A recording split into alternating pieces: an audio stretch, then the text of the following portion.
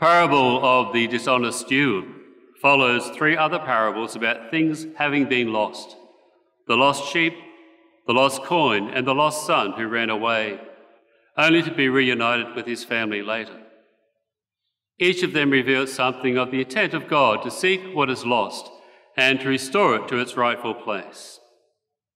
God is seen in the shepherd who searches, the woman who sweeps her house, and the father who watches for his son's return.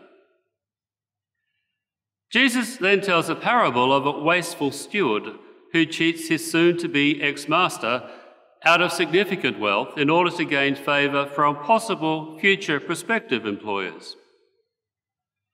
Where is God in this?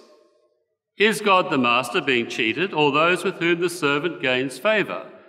Or is it the servant himself? As the servant was the mediator between the master and his debtors, Jesus becomes the servant who mediates between God and a lost humanity. The household of God became poorer.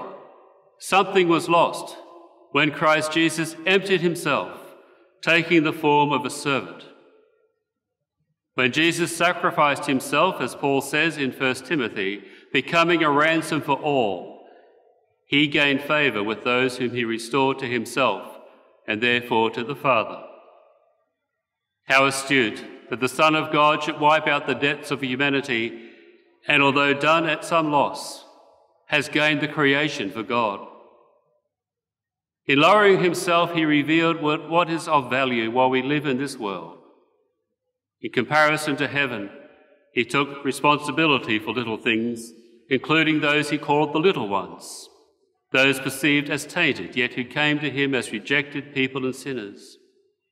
In caring for them, he became a true servant of God, worthy to take responsibility for greater things in the kingdom of God.